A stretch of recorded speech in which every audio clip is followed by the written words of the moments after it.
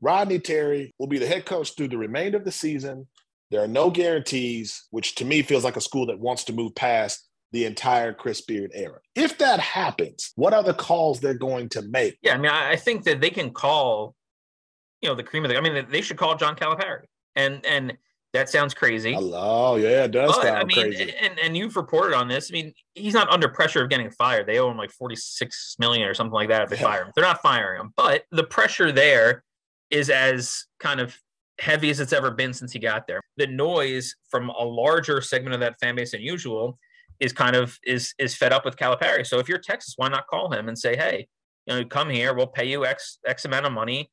You know, you don't have to deal with with the Kentucky fan base and you can start fresh. If I'm Cal, I don't know if I'm walking away from that kind of money that Kentucky has, and it's it's still, you know, the best, maybe the best job in the sport, but you know, it's worth a call.